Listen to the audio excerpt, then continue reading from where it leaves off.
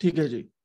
अभी इस लेक्चर में हम देखेंगे कि किस तरीके से हमने एक पूरे का पूरा आर्किटेक्चर एक ही कोड के अंदर लिखना है और कैसे ट्रेनिंग और validation lots on on a small scale किस तरीके से मैटर करता है और कितने इपॉक्स हम चलाएँगे और कितनी तेज़ी के साथ ये दोनों चीज़ें परफॉर्म करती हैं। अगर आपका डेटा सेट छोटा है। डायमंड पे बड़ी देर लग रही थी and I change the data set later bit और इसको देखेंगे।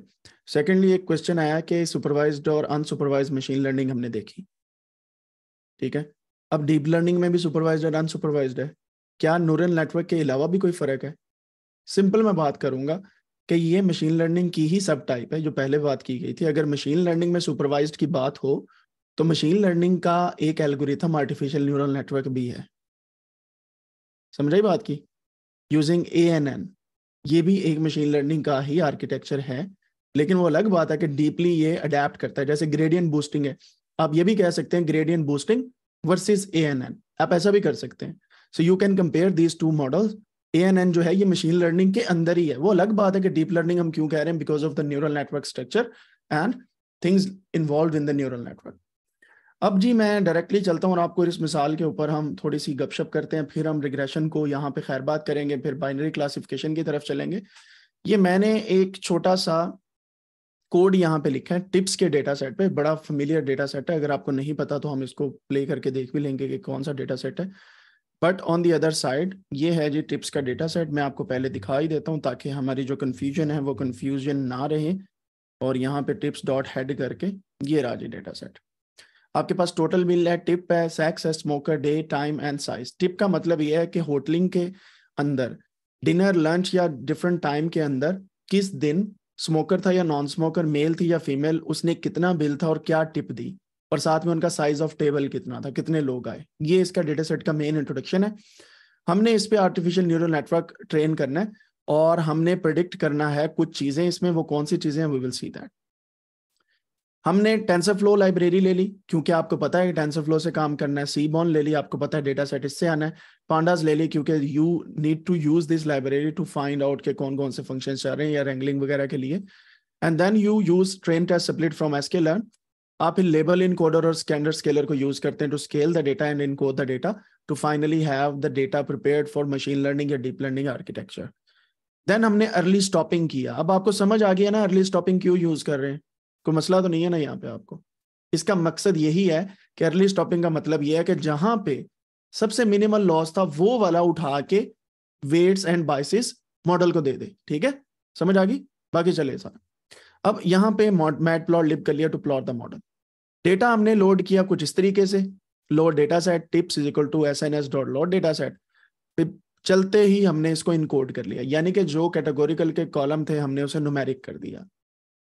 Then we drop total bill हमने टोटल बिल प्रिडिक्ट करना है यहाँ पे वाई में। तो हमने क्या किया? टोटल बिल जो है वो प्रिडिक्ट किया। वाई में इसका मतलब है हमने एक्स में से ड्रॉप कर दिया, यानी कि फीचर्स और टारगेट बना दिए। बाय द वे एक्स को हम फीचर्स बोलते हैं। और डीप लर्निंग के अंदर फीचर्स और टारगेट का लफ्ज बहुत यूज़ होता है जब आप किसी का डेटा डाउनलोड करते हैं तो। Then we split into training and testing set कैसे? एटी ट्वेंटी में हमने कर दिया X train X test Y train and Y test करके। You know this better than other people तो अब यहाँ पे हमने स्टैंडर्डाइज कर दिया ट्रेन और टेस्ट को। मतलब ये स्टैंडर्ड स्केलर यूज़ करके, ठीक है? मतलब जो किसी के यूनिट ज़्यादा थे, किसी के कम थे, हमने उसे स्टैंडर्ड कर दिया। अब अगली चीज़, हमने मॉडल को डिफाइन करना है। सेम वही काम, पहला हमने शेप दे दी यहाँ पे इनपुट लेयर आ गई ये। ये वाली हमारी पहली हिडन लेयर ये हमारी दूसरी हिडन लेयर और ये हमारे पास क्या आ गया? आउटपुट लेयर ठीक है? मैंने चौसठ चौसठ दोनों में रख दिया just to have a nice idea कि क्या चल रहा है। Then we use the compile model dot compile जिसमें Adam and mean square error को हमने यूज़ किया as a loss and optimizer आपको पता है लॉस एंड ऑप्टिमाइजर क्या है? मैंने पहले भी बताया था। और ऑप्टिमाइज क्या करता है? लॉस को कम करता है बार बार and then we will see क्या बनता है।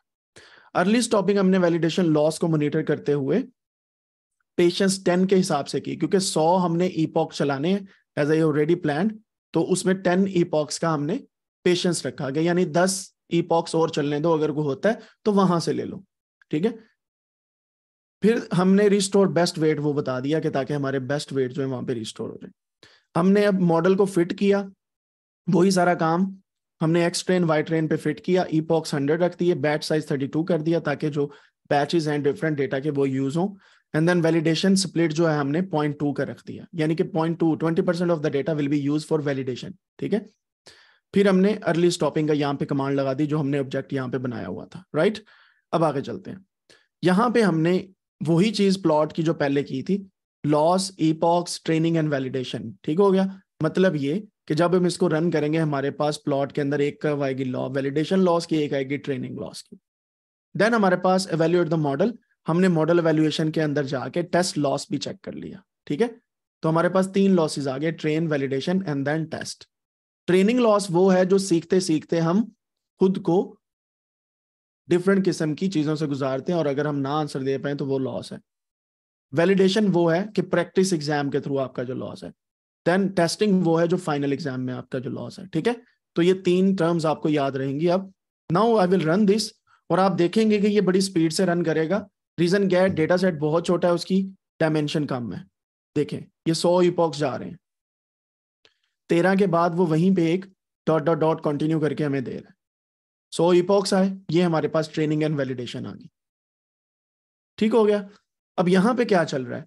आप मुझे बता सकते हैं कि यहाँ पे बेस्ट नंबर ऑफ़ ईपॉक्स कौन सा है, जिसके बाद स्मूथनेस चल रही है।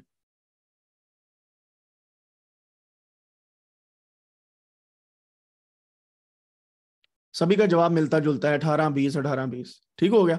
अब चलें, वही काम करते हैं हम दोबारा से। मैं ई पॉक्स यहाँ पे रखता हूँ। पच्चीस। Just to have an idea लो जनाब, आपको ऐसी कर्व मिल गई लेकिन हमारा मकसद ऐसी कर्व लेना नहीं हमने थोड़ा सा आगे जाना है। यहाँ से पता तो चल गया कि ये लास्ट है। लेकिन इससे आगे क्या है? क्या ये दोबारा ऊपर जाता है या नहीं जाता? अब मैं यहीं पे 200 करता हूँ। ईपॉक्स किधर गए? ये रहे। 250 कर देते हैं। लेट्स सी क्योंकि ये स्पीड से काम कर रहे हैं so we can use different epoch number यहाँ पे ये चल रहा है चेक करें। लॉस जो है, वो कोई फ़र्क नहीं पड़ रहा उसको, बीस के बाद। इसका मतलब यह है कि एक ऐसा पॉइंट आता है जहाँ पे लॉस कम होना जो है वो रुक जाता है या बहुत मिनिमम चेंजेस आती हैं। वो होता है आपका फाइनल नंबर ऑफ़ ईपॉक्स जहाँ से आप अंदाज़ा कर सकते हैं। कि आपको कितने ईपॉक्स चाहिए। एक तो ये तरीका कार है कि आप ट्रेनिंग वैलिडेशन और टेस्टिंग लॉस वगैरह चेक करके उस तरीके से कर्व्स की बेस पे देखें कि लॉस कहाँ पे आ रहा है, ठीक है? अगर मैं इसी को किसी एक ऐसे पॉइंट पे रोक दूँगा, हज़ार ईपॉक्स चलाने के बाद भी, जो कॉल बैक फ़ंक्शन है वो ये करेगा, बीस जहाँ पे स्टार्टिंग में बहुत कम लॉस आया, वो हमें उठा के दे देगा सिंपली उसको पता लग गया कि मेरा काम खत्म हो गया, चलो आप लोग बाकी करते रहो जो करना द नेक्स्ट थिंग इज़ हमारे पास टेस्टिंग लॉस भी आ रहा है। टेस्ट लॉस जो है, ठीक है? वो हमारे पास आ रहा है forty three point four three यहाँ पे ये वाला लॉस है हमारा training loss twenty eight point something forty six point something is validation loss and test loss is forty three इसका मतलब है ट्रेनिंग के दौरान जो हमारे पास ट्वेंटी एट लॉस था, वो कम दे रहा था हमें। ट्रेनिंग के दौरान। जब हमने वैलिडेशन की बेस पे देखा तो 46 के करीब करीब था। इसका मतलब ये है कि 23 से 24, 25, सॉरी 28 से ऑनवर्ड 46 के दरमियान दरमियान आपका टेस्ट लॉस रह सकता है। Keep in mind this can be an analogy जो आपको फ्यूचर में काम आ सकती है। अब अगली चीज़ ये है कि ये क्यों नहीं लॉस इंप्रूव हो रहा ईपॉक्स ज़्यादा करने से? एक मिथ है जी डेटा साइंटिस्ट के दिमाग में खासतौर पर डीप लर्निंग के जो इंजीनियर्स हैं वो ये कहते हैं, जो बिगिनर्स हैं, मैं एडवांस लेवल की बात नहीं कर रहा, वो कहते हैं कि यार डीप लर्निंग एल्गोरिथम लगाओ, सब कुछ फिट हो जाता है। क्यों जी? गूगल तो यूज़ कर रहा ही रहा उनको ये नहीं पता कि डीप लर्निंग का एल्गोरिथम वो उनका कहने का मकसद ये है कि ज़्यादा न्यूरल नेटवर्क्स लगाओ तो आपका डेटा जो है वो ज़बरदस्त हो जाता है। But it doesn't work like that ज़्यादा न्यूरल नेटवर्क लगाने से या ज़्यादा ईपॉक्स बढ़ाने से आपका काम नहीं बढ़ता। हम दोनों इनोलॉजीज यूज़ करते हैं। हमने ईपॉक्स यहाँ पे रखा 250 इसको मैं 100 पे वापस ले आता हूँ। अब दूसरा काम हम ये करने वाले हैं, जो हमारे पास हिडन लेयर्स थी। मैं एक को यहाँ पे कमेंट आउट करता हूँ। ठीक है? लेट्स सी क्या फ़र्क पड़ता है।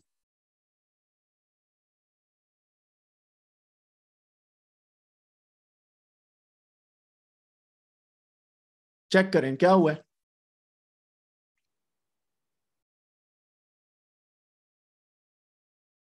समझ लगी है क्या हुआ है? लॉस 20 इपॉक्स पे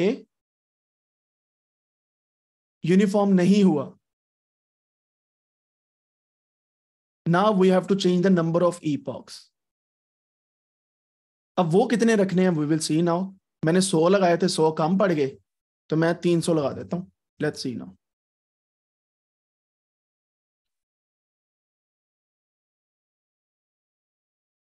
तो समझ आ रही है ना किस चीज़ के बारे में बात हो रही है। अभी हमने इन कर्व्स को पढ़ना भी है। सो so, मैं आपको सिर्फ़ आइडिया दे रहा हूँ कि कर्व्स हमें क्या क्या बता रही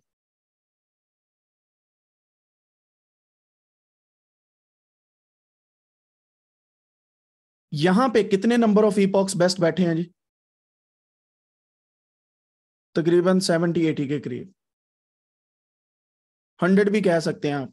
नो प्रॉब्लम एक हिडन लेयर आपका कितना काम बचा रही थी?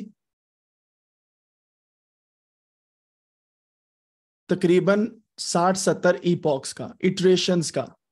ज़ाहिर बात है कि एक इटरेशन हैवी पड़नी थी तब, लेकिन ऑन दी अदर साइड आपका जो डेटा है, वो दो हिडन लेयर्स के साथ कुछ ऐसा काम देता है। मैं दोबारा से चलाता हूँ आप।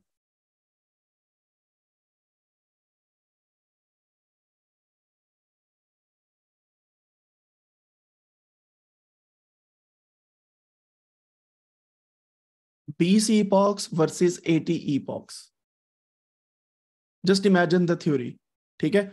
अब एक काम जो हमने नहीं देखा वो ये था कि एक लेयर को रोकने से हमारे पास जो लॉस है वो मिनिमम कितना आया? ट्रेनिंग वैलिडेशन और टेस्टिंग तीनों। 28, 46 और 43 थी ना values let's see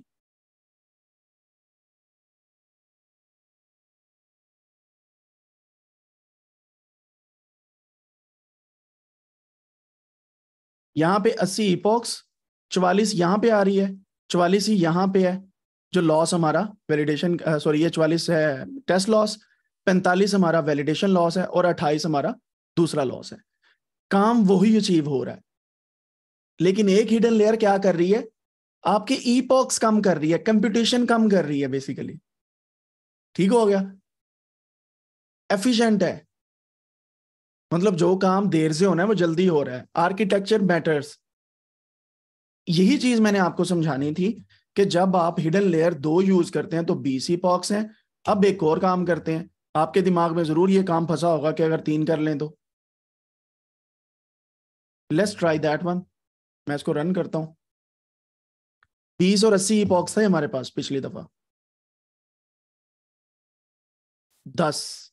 And look into the bumps यहाँ पे आके वो खुद कंफ्यूज हो गया, बढ़ना है, कम होना, बढ़ना है, कम होना, बढ़ना है, कम होना नाउ इट्स स्मूथ हियर तो एट द एंड पंद्रह सोलह इपॉक्स तो इसका मतलब ये आर्किटेक्चर अच्छी बना के आप अपना एफिशिएंटली विद गुड एक्यूरेसी काम कर सकते हैं। अभी भी सैंतालीस, छियालीस के करीब ही है, अगर आप गौर करें। छियालीस, अट्ठाईस, वही चीज़ें चल रही हैं। But on the other side हमारे पास एक रिज़ल्ट आ रहा है। एक और काम चेक करें आप। कि हमारे पास चौसठ पे जाके ईपोक रुक गया है। क्यों? क्यों रुक गया? इंप्रूवमेंट नहीं हो रही। कॉल बैक की वजह से। समझ आई बात की अब अगर मैं इसी को कॉल बैक फ़ंक्शन के अंदर जाके अर्ली स्टॉपिंग के ऊपर पेशेंस को मैं दो कर देता हूँ। Keep in mind the number हमारे पास चौसठ पे रुका था ये। मैंने अब दो कर दिया है उसको पेशेंस को। वो आई आई आई वाला पेशेंस पेशेंस वो वाला। सो अब चेक करें, चालीस हुए हैं। इसका मतलब ये है, तकरीबन आपके जो चले हैं, चालीस ई पॉक्स चले, अड़तीस आपको प्रॉपर वैल्यू दे रहे हैं। दो के ऊपर वो इंप्रूव नहीं हुई तो हमने चालीस पर रोक दिया। समझ आई कॉल बैक फ़ंक्शन की कि नहीं? हमारे पास मिनिमम वैलिडेशन लॉस एक जगह पे आया और वो दो ईपॉक्स के दरमियान इंप्रूव नहीं था हुआ। चालीस चालीस चालीस चालीस कुछ वैसे ही चल रहा था। हमने कहा यहीं पे रोक दो। बस, खत्म। सारे इको जेने। So we have to use that analogy अब अगर ये आपका पेशेंस नंबर बड़ा होगा ना तो आपका रिज़ल्ट एक्यूरेट होगा। You will get the best number of epochs there समझ आई कोई कि नहीं आई? मेन बंप जो है यहाँ पे आ रहा है, लेकिन ये कम हो रहा है अभी एट द एंड यहीं पे बात खत्म नहीं होगी बारह तेरह पे. ये स्टिल इट्स गोइंग डाउन लेकिन with less space callback function उस स्पेस को भी काउंट करता है यहाँ पे. ठीक है? That's why we use callback function चलें, अब इसको मैं पेशेंस को करता हूँ. बीस और चौसठ से ज़्यादा चलेंगे ये अब. पक्की बात है. तिहत्तर। सही है? तो इसका मतलब है तिहत्तर ईपॉक्स आपका बेस्ट नंबर है। अगर आप थोड़ा सा आपकी लेस कंप्यूटेशन है, आप बारह भी यूज़ कर लें तो काम आपका हो जाएगा। लेकिन तिहत्तर आपको वो पॉइंट्स में जो एक्यूरेसी बढ़ती है ना, वो देगा। को समझ आ रही बात की डीप लर्निंग आर्किटेक्चर की? मुझे लग रहा है मैं रूहों रूहों वाली बातें कर रहा हूँ but on the other side I think you should learn this techniques मैंने अभी तीन लेयर की थी तो इतना कुछ सीखने को मिल रहा है। Let's add up another one और इसको मैं करता हूँ, अब सभी को आठ आठ आठ पे करते हैं। बल्कि पहले चौसठ पे चलाते हैं, फिर हम इसको आठ आठ आठ पे चलाएँगे। अब हमने लेयर्स का पता लगा लिया कि लेयर्स इफ़ेक्ट करती हैं। हमारे पास ये चेक करें बम्स आ रहे हैं, क्यों आ रहे हैं वी विल सी दैट हमारे पास जो नंबर है ना इस वक्त सतावन नंबर है, चार लेयर का। और ईपॉक्स यहाँ पे ये है फोर्टी थ्री हमारे पास टेस्ट लॉस है forty eight and twenty three यहाँ पे। चलो जी, अब एक काम मैं करने लगा हूँ। ये वाला जो है ना काम, आठ आठ न्यूरॉन्स की हम हिडन लेयर्स बना रहे हैं। मतलब आठ गुना कम कर दिया मैंने। अब आप देखेंगे क्या होता है।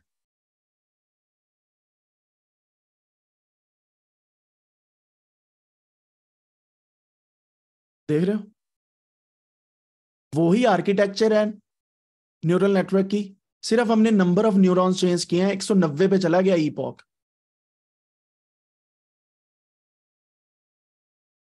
जो क्वेश्चन था ना आपका कि क्या ये मैटर करता है कि हिडन लेयर्स कितनी बनानी है, कम बनानी, ज़्यादा बनानी है? जितनी आप गुड़ डालेंगे, उतना मीठा होता जाएगा। यानी जितने न्यूरॉन्स आप बढ़ाते जाएँगे हिडन लेयर में, उतनी अच्छी कंपटीशन होगी। लेकिन एक पॉइंट होगा कि वे न्यूरॉन्स जो है, वो कम करना स्टार्ट कर देंगे। हमने ज़ीरो से स्टार्ट किया single layer double layer triple layer four layers फिर हमने न्यूरॉन्स की तादाद कम की, वो भी देख लिया। अगर आप उसको ज़्यादा करेंगे, आप वो भी देख सकते हैं। बट ये सब कुछ होता है आपके रिसोर्सिस के ऊपर। अगर सिस्टम आपका अच्छा नहीं है तो प्लीज़ डोंट यूज़ दिस क्यों नहीं यूज़ करना? आप इमेजिन करें, छह मिलियन रोज का डेटा हो आपके पास, आप क्या करेंगे? डायमंड ने मत मरवाई हुई थी यहाँ पे मेरी डेटा ने. डायमंड चौवन हज़ार रोज का है. सो ही पोक में चला रहा था, वो ऐसे चल रहा था जैसे चाँद गाड़ी चल रही होती है. तो we need to find a way out के किस तरीके से आपने काम करना है और कैसे आपने आर्किटेक्चर को डेवलप करना है.